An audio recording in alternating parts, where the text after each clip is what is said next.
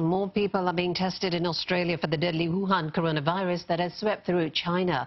While the number of cases is low, health authorities and many people throughout the country are taking precautions. Bruce Harrison reports from Sydney.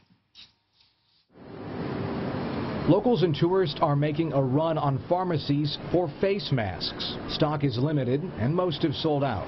The masks were already high in demand as toxic haze from this summer's fatal bushfires swept over the city. Many mask wearers here say they're just being cautious.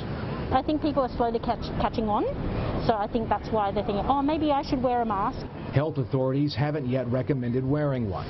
In the city, only some like Asian people wearing masks, so I think they're the only like people who aware of the virus. Doctors are worried too, as they're often the first stop for patients who may have the virus. After multiple calls, the government has now agreed to dip into its stockpile of protective masks for general practitioners. President of the Royal Australian College of General Practitioners, Harry Nespolon, says 10 or so N95 respirator masks is enough for each practice the coronavirus, uh, as we know, there are no immunisations.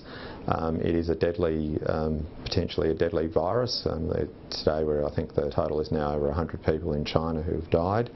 Um, and so, uh, yeah, we need the extra protection. But protecting students is being disputed. Officials in Victoria say it's unnecessary to keep kids home if they've recently visited China. The government of New South Wales has told parents to hold those students back if they haven't been home for at least two weeks. It's at least a two-week uh, two-week incubation period for the virus, so they're better to be cautious and uh, obviously leave the kids at home. You know, err on the side of caution, delay the start of school for a couple of weeks till they just get a better understanding of, of how quickly this is going to spread. Until that's clear, some will scramble for face masks as pharmacists rush to get new shipments in as soon as possible. Bruce Harrison, CNA, Sydney.